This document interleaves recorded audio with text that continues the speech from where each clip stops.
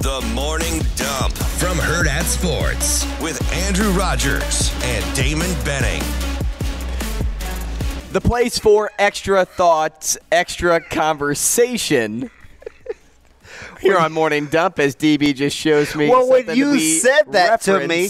I didn't think anything of it. Uh-huh. I swear to goodness, I did not think anything of it. I was like, so we'll go back. We're we'll, we'll- reaching. We'll, tell them what what I what you just showed me and what I alluded to yesterday. So when Tony Romo was on the call Yeah. on Sunday night, Patrick, it was Pacheco that broke three tacklers for like a 10 yard game, team. and he was like, he acted like, and you know, Samson. Tony had just split the Romo stopped mid thought once he said there are three, and then he he's what I would hope he was about to say is like three Nigh. of them next to each. Like what what was the thing that I showed you?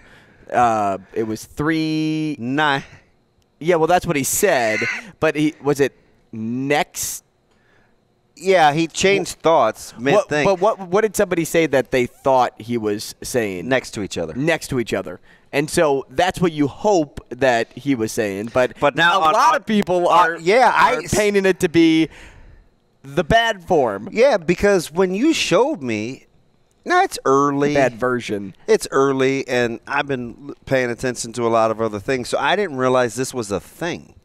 Mm-hmm. So I walk in here, you're like, "Ah, morning, DB." What's up? And then we started talking about Tony Romo. Yeah. And I'm like, did you hear? and I was like, "Wait, what?" So I didn't think anything of it, but apparently, like, Well, and social media makes something a bigger deal than it actually these is. coaches coaching. These are Power Five coaches that did a, a Power Five coach that just sent me this, and he's like, he's like, "Did you see this? Did you guys talk about this on the show?" on Monday. And I was like, "I don't think we did, though." on Monday? Like, did we talk about it out loud, or yeah, was we it? did. We talked about it on air. Dude, it's all a blur. to I think- boy. I don't see. I don't think we did. I think we talked about a lot of weird. So you went into, you did the total play-by-play of the of the made field goal. I don't think we did. Maybe we said anything didn't? else because you went. Is would it be good from forty four, from forty eight? I did do I that. don't know. I did do that. Maybe it was all off air It was all off air. that we talked about. Because Okay. that was like 640. I, I don't. e- We weren't on air right. yet. Yeah. I could have sworn we brought it. to I air. still don't think it's that big of a deal. I don't either because he didn't say the word. and and you know what? It would be so. Even if it was an a so-called accidental slip up, because I, those words don't just accidentally come out of people's mouths. And That- it that's wasn't- A, that's a word that gets thrown around more in their vocabulary in everyday life. You don't just say Yeah, he ain't, that Kadar- he ain't word. Kadarius Toney. Correct. Yes. Oh man, that DM that I showed you today too. I feel like I'm always stumbling across because I like don't that. get into uh, because you know what's it's interesting. I'm kind of the old.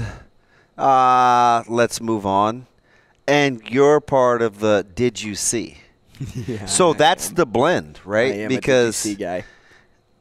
Because you know what's funny about that? Because you brought up Joe Staley. You're like, hey, did you see the Joe Staley stuff? I thought it was something new, but I had seen that the day it came out, and I didn't think anything of it. So the thing that I liked about Joe Staley, it was it was on the heels of Shady McCoy, and so there's always this player perspective, and like over the last X amount of months, the the play the pro player on pro player crime on social media, I think is elevated.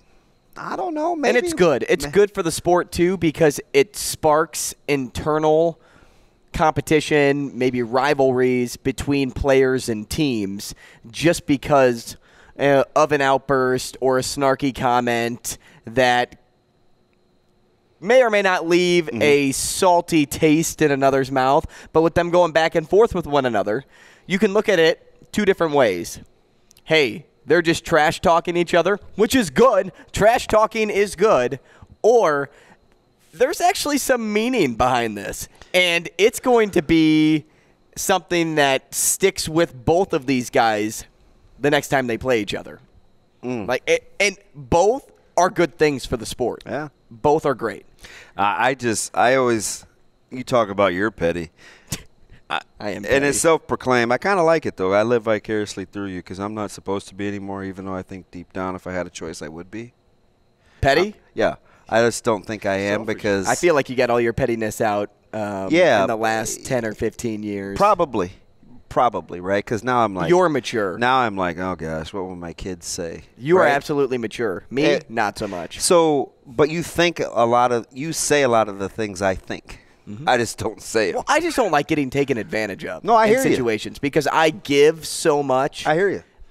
I hear you. And I'm always I've been conditioned now. And part of it is me playing catch up, right? When like you fail at a relationship and you're embarrassed and like you're kind of at bottom and I think you feel like you owe it to yourself to be the best that you can be.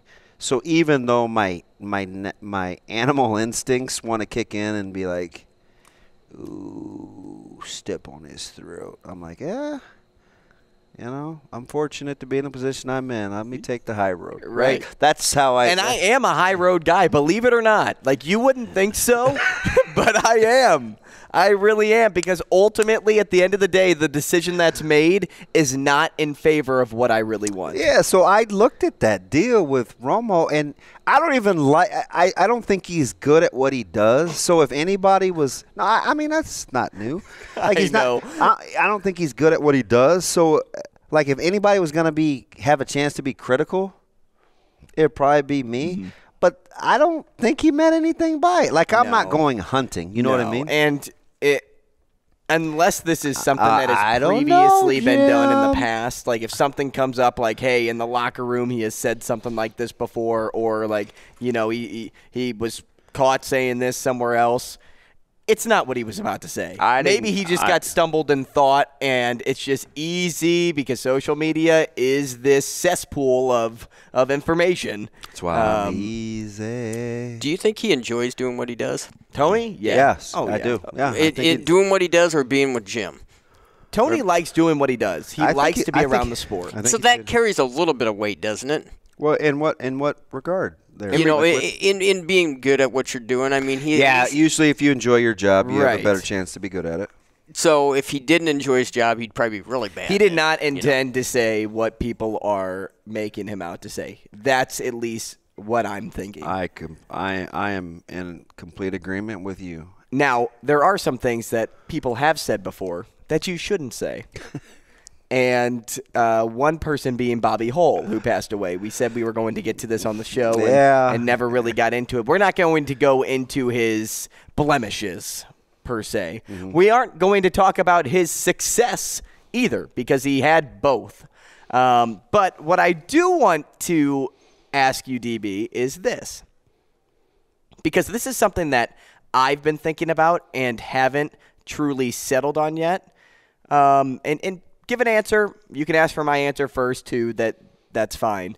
But the Blackhawks were already recently in the news for mishandling the sexual assault, um, the sexual assault issue. That's not accusation. That's the word I was looking for.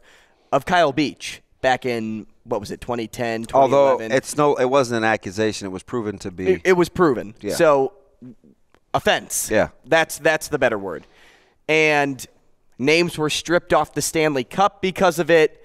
It, it was a it was a huge deal. So because the Blackhawks have sort of this this shadow following them from that point and now with Bobby Hull surfacing again because they they stripped him from ambassador role because of the recent mm-hmm. like let's let's just say uproar that kind of came that kind of came with him. But all said and done, because of his success on the ice versus how he acted in everyday life, there is a statue outside of the United Center of Bobby Hull. But normally, after somebody dies, they get retired, especially if someone of his caliber within that organization. A banner gets raised at the next home game. Now, I think they do have some time. I don't think they play a home game for at least another week. Mm-hmm. So they have time to make a decision. But what do they do? Do you pay honor to what he did on the ice for the organization by lifting his banner into the rafters? Or and, and by doing so, you're going to take a lot of heat mm-hmm. for doing it. Or do you just say we we we have like a special message on the video board thanking him or taking a moment of I- silence and then move on? I think it depends on the era, and it depends on um, kind of the the rehabilitation story of said athlete. Tiger Woods, Kobe Bryant. Now Tiger Woods is Eldrick is still with us. Kobe Bryant, when he passed away unexpectedly, I felt like there was only a small minority of folks that brought up Colorado and the the civil suit and things of that nature. There was kind of this celebration of life and kind of his growth and maturation since the episode in mm-hmm. Colorado. Like people focused on the how he had rehabbed his image. You know, Hull is a little different, right? Because there were people that, even though, so the backstory is, if you're not like all in on the Bobby Hull backstory, the, you know, uh, he was alleged to have been a serial uh, domestic abuser.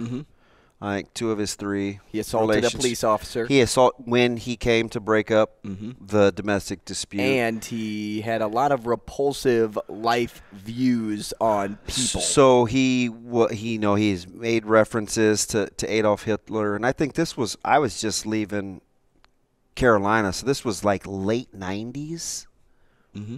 maybe almost 2000, so 98, 99, somewhere around there. That's He'd when he made all he- the claims. He had made the he'd made some comments about Hitler, uh, the black population. Now, what the the story goes is he he sued the publication. I don't know if he won or not. I don't think I don't think it ever went anywhere. But he sued the publication for being misquoted.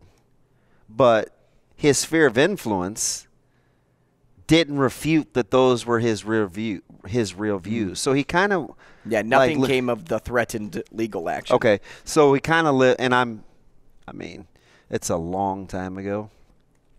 Um, but I think he did. He was a pioneer in a lot of ways For the sport. Oh, he curved sure. his hockey stick. He was the first to do it. Uh, he had 610 50 goals. Yeah, every season Bef- for like five years. before changing leagues. Mm-hmm. Um, he was basically the USFL, NFL of his generation, going to a competitive, uh, a league that competed uh, with where he was a, a star. I think he changed. Meaning, uh, shoot, he changed the fiscal game, right? Uh, uh, in terms of how to do contracts and. Right. and getting paid for your for your services. So I mean, I don't know. It's always it's touchy. It is. Andrew. It- well, the world we live in today, it's especially touchy. Yeah, and I don't need a pound of flesh. So I'm so I can say, hey, listen, um, there were people that he's close to that are mourning his loss. There are people that aren't mourning his loss, and I feel like depending on your what your relationship with the deceased is, you're entitled to that opinion, and it's not going to offend me either way. Right. Right. right? So, um, you know, I lost two loved ones and and a two year span in the last five years. And not everybody's going to have the same vantage point. No matter how great I think those particular people are, some may disagree from their experiences. I'm at I'm still at peace with that. So I don't believe it. I don't I typically don't just get in the weeds, right? I just use that as an example because there's no way you know, everybody's going to love everybody in a time of passing, right? It's just not how human nature works. So I assume that there's those people out there. So I don't know. I don't want to make excuses for what he said outside of hockey, but in regards to the sport of hockey, I think there needs to be a separator. I think there needs to be a hey, he was this individual outside of the sport, but here's what he was for the sport, which is why there is a statue up in front of the United Center. Mm-hmm. But him passing, that doesn't mean take down the statue because of Yeah. what he did in his personal life. That's me, me saying that with as as much love for those that he affected based I on mean- his words. But everybody says words. Every you will come across somebody in your life that has said something to you that you don't like. Yeah. But at the end of the day, do you move on from that or do you treat them like an enemy forever? More times than not, you move on because you don't want that negativity to surround your life. Yeah. And so, in this case in particular, look, he may not have been the, the guy you want to go get a beer with or hang out with on the weekend, but he was definitely somebody that you cheered for when he played hockey. And here's the thing. I mean, what are the boundaries or the benchmarks? Is it the Hall of Good People? Is it the Hall of Fame for sports accomplishments? Is there a line where you draw the line where Mm-hmm. Right. you can't cross over in terms of being a good guy versus not? I mean, listen, Pete Rose is saying, hold my beer, right? Um, Yes, he is. because he's always made the case that there are worse people in terms of what they represent than he is for what he did relative to his sport. So I un- I I want to be sensitive to that too because I understand it, right? But that's a standard when you get into the MLB Hall of Fame. That's something that people forgot about, and I actually took note of it. I mean, Honus Wagner, right? Historically, not a good guy. No, but here, But given the times that he grew up in, am I supposed to understand that? I would assume I'd have Mm-hmm. to, right? Right. That's all he knew at the time. Um, so the Hall of Fame asked voters to decide based on a player's record, ability, integrity, sportsmanship, character, and team contributions. That's what the MLB requires from their voters. That's not all they're playing. Yeah. That's also who they were as a person. I don't know if the NHL is like that. I don't know if rules have since changed from when Bobby Hull went into the Hall of Fame. I don't know if, if it's different now, if it has everything to do with what Major League Baseball is doing too, but I at least know that. That's another reason why Scott Rolen made it, is because of his character and team contributions outside of his actual playing career. Understood. So that I actually think is a standard, which I'm not shocked that Pete Rose is now saying, like, hey, like, you guys preach this now. Mm-hmm. What about what about me? I know I made one mistake. I owned it. I bet on my own team, which that shouldn't be a penalty to, regardless, uh, because you're betting on yourself to win, not to lose. But I bet on my own team, and this this is where I'm at. Th- This is this is where you have me. No. Outside looking in. Sorry. Nowadays, though, the statue like that may come down just so so they can avoid the negativity. Um, But there's already so much negativity that surrounds that organization. there is And definitely. until something bad happens, you don't think about the other things, right? But you would think think, about it. You would think though that this the negativity that comes with it would probably go away Before before Brett Hull, Brett Hull, before Bobby Hull died, Yeah. all of the stuff about Kyle Beach was kind of news of the past. You didn't bring it up until you start talking about Bobby Hull doing bad things, and then you're like, ooh, the Hawks actually have done bad things in the past. You forget about those things and Right. you focus on the now. So it's more of a, like, I get what you're saying about a reminder because you're seeing that reminder every single day. But when you look at the Bobby Hull statue of him playing hockey, I don't personally think of what he did Right. in his life post hockey or even during hockey with as DB brought up the domestic abuse cases, the assaulting a police officer. I never thought about that. I knew about those things. I didn't have to say like I believe in those things. In the same vein, when I hear Chicago Blackhawks, I don't think beach. That's what I'm saying. You Right? just don't so think that in the same vein, I, it doesn't. but you think about it when everything becomes relevant again, and you're like, "Hey, here's everything." Have you seen the statue? I have not. Have you? I have not. I was just wondering. it- I mean, I I've was- seen it on. You, you talking about like in person? Yeah, I was wondering how prominent it was, how you know where where it was in relativity to going into the the United Center. My man said theory of relativity. Relative to where it was? Yeah, It's just on the outside. I don't So- know if it's by a gate. It's probably with a bunch of other, statues. yeah, retired Blackhawks. Um, but it's him. He, this is what it looks like. I mean, I don't No, know I've if you can seen really it. see I've- it, Shaner. It's I've- just him, I've- him s- doing a slap shot. I've seen it. So, and he was an icon in the sport. I mean, no, no- question. no to question that. about it. But he just, like I said, he's not a guy that I would say, "Hey, let's go get a beer." Yeah. Hey, how about a beer? hey, let's go hang out. Um, also, though, before we wrap this thing up, how about that Horvat trade to the Islanders? A team that is not even in playoff contention right now. I know it. And is trading for a rental. Like, that's so surprising to me. I know that they probably are like, hey, you know, we still have a lot of time. We can get and I think they're waiting to get healthy too. So, But- we'll see how that fits. Can you imagine not making the playoffs and making that trade and then not signing Horvat or getting Horvat to sign after this season? Tickets. I mean, and yeah, the I- immediacy you- thereof. You can get money, but you traded a first round pick plus some for this guy, and I- he's a great player. I think they think. But a rental? They think they could make a run. Why not? Right? Who wouldn't think like and that? And it is the NHL where you get uh, where you get half the guys that have a chance to. Shane, it's cold out there. Can you like let Jacob in through those doors real quick?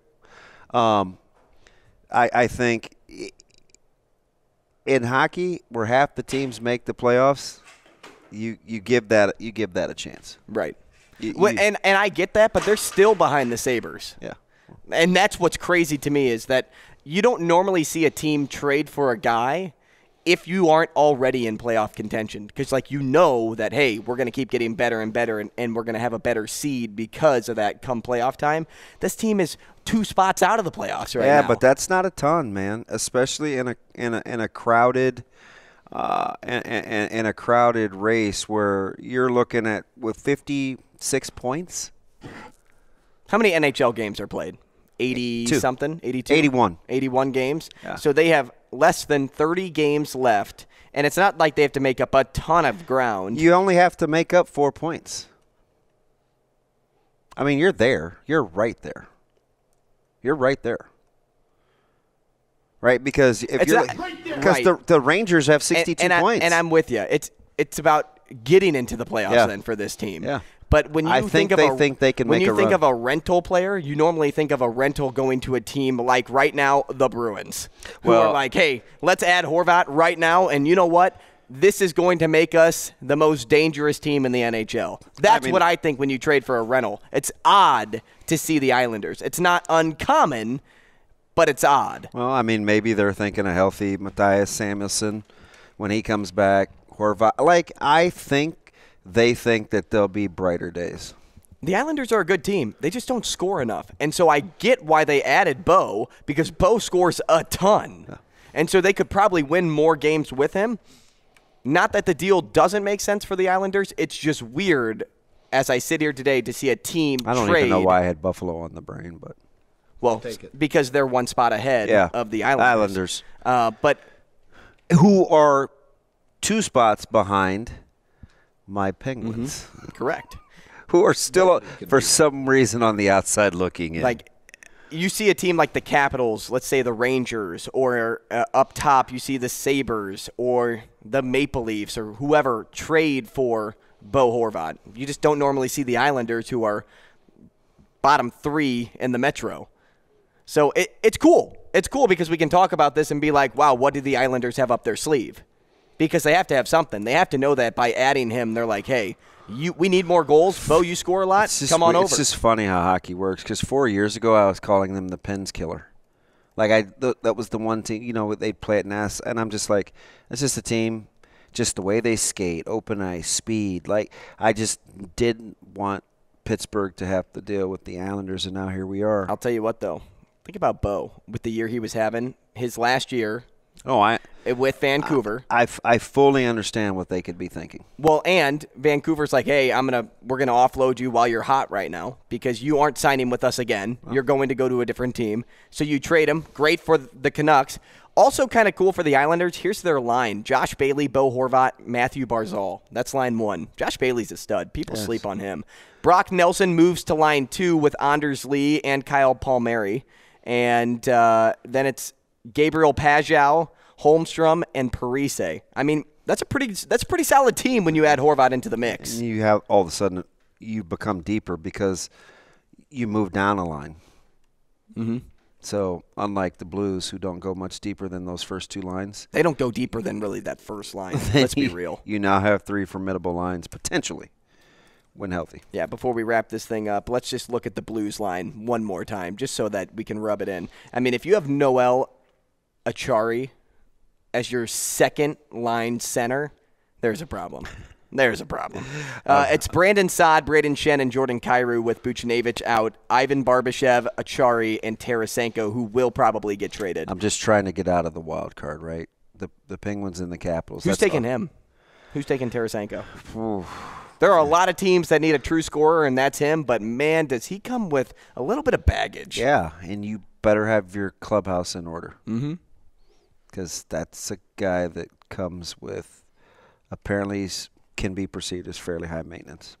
Um, one thousand percent. Because when he didn't get the C on his chest, all, all hell broke loose in that organization. If you want to talk more sports with us, head back and check out the podcast from today's show, Coffee and Cream. That's uh, you type in Hail Varsity Radio wherever you get your podcasts, Apple, Spotify, and then you can find the full show there. If you like Morning Dump, make sure to subscribe, hit that like button, and uh, stick around with us because we do this after every single show. You can find Morning Dump on Apple, Spotify as well. He's at Damon Benning on Twitter. I'm at Andrew Rogers TV. Thanks for joining us. We'll see you tomorrow.